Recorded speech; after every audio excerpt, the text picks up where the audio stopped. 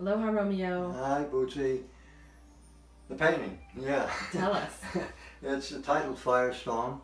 There's a bit of a story behind this one. I have a friend uh, in California, and part of his property a few years ago, a couple of years ago, went on fire and he lost several acres. And in the phone conversation, he started to cry.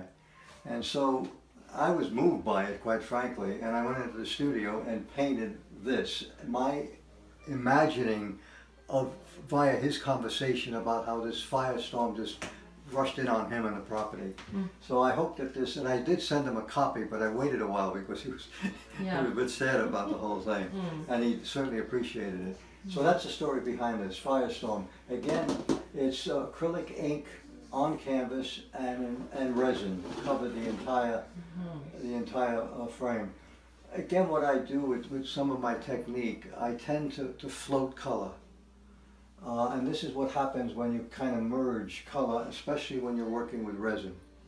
It helps you mold and, and create different shapes and form. Mm-hmm. So again, you're starting, starting with the green and then you're going into the burst of flame.